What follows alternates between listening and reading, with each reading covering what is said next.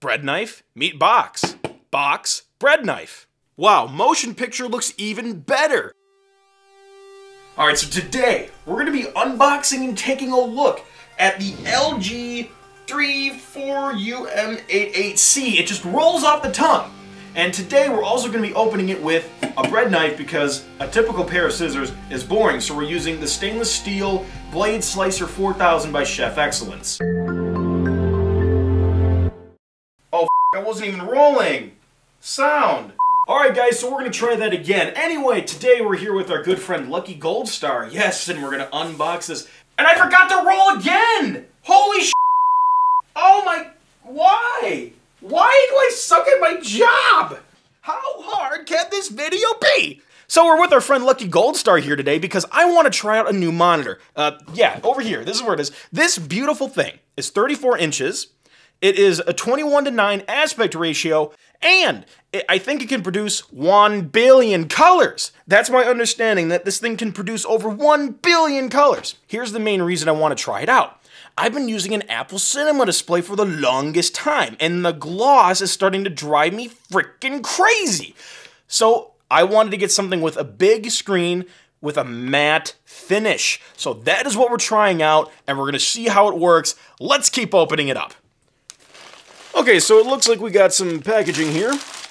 And it looks like we have a CD in there. I have not seen one of those in a long time. And a warning, do not put the bag on your head. It's not as fun as the kids say. And inside said bag, we have a power supply unit, it looks like, an HDMI cable, a DisplayPort cable, and the other end of the power cord. We also have some things. So, I just want to warn you guys, if you're going to use this with a Mac like me, it will not work out of the box unless you use HDMI. But I'm a man and will not. So I'm going to use mini DisplayPort. So you got to make sure you have a mini DisplayPort to full-size DisplayPort adapter or cable on hand so it actually works. Thankfully, I do, so I'm good to go. But just a heads up for all of you out there. Be careful. It's, it's a dongle-eat-dongle world. That was the most masculine sentence I've ever said. Anyway, instructions. Hopefully we don't need those, right? And this this is that curvy stand. This is what the monitor stands on, and it's all curvy because it's natural. There's no right angles or straight edges in nature. Some, some guy said that. So now we begin the foam extraction process. One moment. The foam extraction process. Oh, for crying out loud! There we go. There we go. That's the fun part right there. I lied. The fun part is next. Now, I just have to say, there were some people that complained there was too much crotch shot in the last episode of the show, so I decided to address the issue myself with more crotch shot. Let's enjoy. So now, we're going to begin the monitor extraction process. This requires a lot of skill. Okay, so this is the panel itself wrapped in a beautiful foam here, and you know, I just gotta say, a little bit of advice keep the packaging for this shit because if you ever have to ship it when you sell it, you'll already have everything that's the right size. I didn't listen to myself when I did that with my cinema display. I got rid of the packaging and, well, now I don't have an easy way to ship it. So, just a little advice. Alright, so I think we should unwrap this later when it's more, uh, more appropriate. I'm just going to move this. Right, now, take out the stand. So the, the nice curvy feng shui part will go in there. Am I pronouncing that right? I'm sure everybody on the internet's going to correct my grammar because everybody in their hamster is a grammar Nazi. And then foam is all that's left in here. So we are now done with this. Okay now, now that we have our basic ingredients harvested from the field, we are going to cook together a lovely monitor a la bitch slap. So, let's start with the curve unwrap the curve.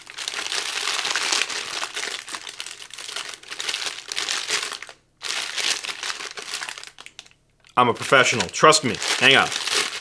I, I don't want to like destroy this because I'm not sure if I'm really keeping it, so I want to keep the packaging in somewhat good condition. Okay, hang on, I found it. Little tape right there, all right.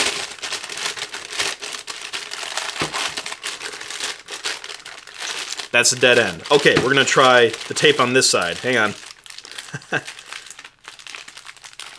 Wait for the snap. Fuck, that is... Ah! Yikes, cutting off the blood circulation. All right.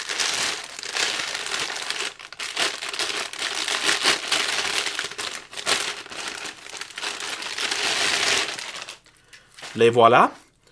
Take off the protective shrinky wrap stuff.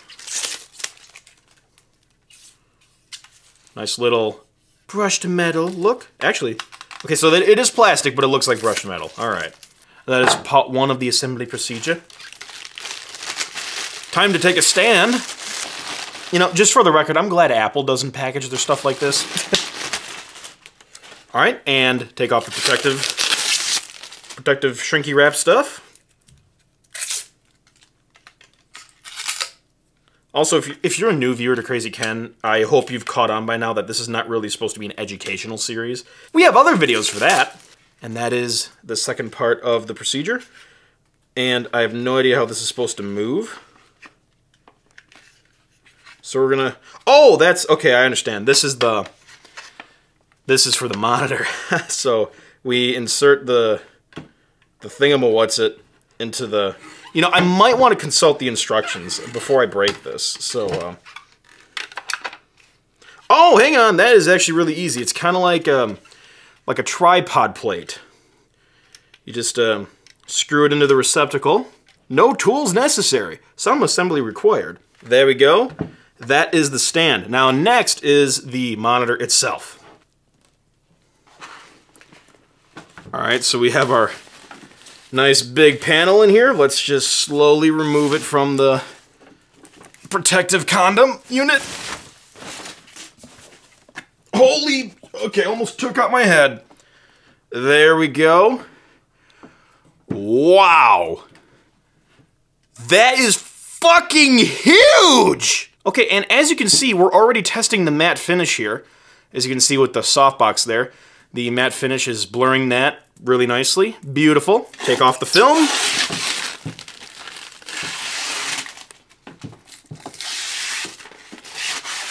Don't you just love peeling this shit off of new technology? Okay, so this is going to screw onto here. So that's what those four screws are for. So let's take care of that. All right, so this may not be the smartest way to do this, but I'm going to do it anyway. Oh, that maybe actually wasn't too bad. so, until we open up the After Dark version of this channel, uh, this is the only screwing you're going to be seeing, so don't get used to it. And one last little screw. There you go, buddy. Nice and snug. Oh my gosh, just look at how big this is. Oh, oh goodness. Let's have a let's have a little measurement, shall we? Wow. This thing is larger than my boyfriend's dick. Come take a look at this video. Hmm? Dude, that monitor is bigger than your meat. It's What's for Breakfast by Jimmy G. So, yep, here it is 34 inches, ultra wide 21 to 9 aspect ratio. And, can't forget this.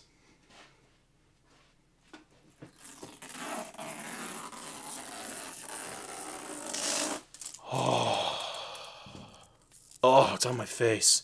Oh, that got dirty really quick. That is one of life's simple pleasures, removing the film off a new piece of technology. Oh, just just fondle it, just fondle it for a while. Just rub oil all over it. Okay, this is getting really after dark. I'm gonna go. Ladies and gentlemen, boys and girls, and everything in between. We're now about to witness together in harmony the first power on of this 34 inch monitor. There's a little nipple right here. It feels like a little D-pad, probably for on-screen controls. Something I'm not quite used to after using an Apple display for so long, frankly. But there must be trade-offs. And I think you click it to power it on, and click. Let's look. Whoa! Little startup chime. Okay. Look at that picture. Ain't that something? No signal. No signal, people. Okay, um, that's a problem. So here's the heads up display. Oh, it just went away, you bitch. Okay, so you click the button for the heads up display, you long press to turn it off, or you can go to the off menu. Let's try input and switch to DisplayPort. That, wow, is actually kind of a pretty on-screen display. Usually they look like shit. And... Wow. Wow. Wow. Okay, hang on. Before we freak out. This message says, Caution, make sure to use a supplied DisplayPort and HDMI cable. Well, none of your supplied stuff's gonna work with my computer the way I want it to, so I'm just gonna abort. But look at this! You, you're not here. You can't even begin to describe this. Those bezels are thin. It's not all reflective. It's a matte finish. Oh my gosh. Let me put a photograph that I shot on here to see if it passes the test.